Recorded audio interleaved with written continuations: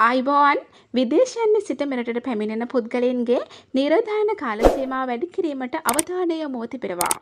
නියෝජ්‍ය සෞඛ්‍ය අධ්‍යක්ෂ ජනරාල් විශේෂඥ වෛද්‍ය මහේන්ද්‍ර මහතා පවසන්නේ පසුගිය දින කිහිපයේ පිටරට සිට පැමිණි වැඩි දෙනෙකු කොවිඩ් ආසාදිතයින් ලෙස හඳුනා ගැනීමත් සමග මෙලෙස ඔවුන්ගේ නිර්ධායන කාල සීමාව වැඩි කිරීමට අවධානය යොමු වූ බවයි. ඊයේ පෙරවරුවේ අවසන් වූ පැය විසි හතර ඇතුළතදී විදේශයන්හි සිට මෙරටට පැමිණි පුද්ගලයින් තුන්සිය පනස් හත් දෙනෙකුගෙන් හැත්තෑ දෙනෙකු කොවිඩ් ආසාදිතයින් ලෙස හඳුනාගෙන තිබෙනවා.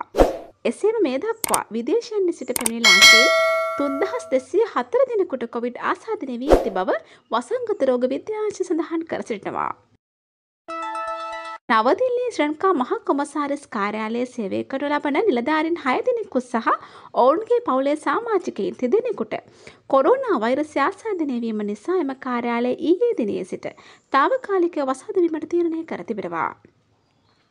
මේ වන විට මෙම කාර්ය මණ්ඩල සාමාජිකයන් සහ ඔවුන්ගේ සමීපතමයන් හුදකලා කර ඇති අතර ඉන් පිරිසකගේ PCR පරීක්ෂණ අද දිනේ සිදු කිරීමට නියමිතව තිබෙනවා.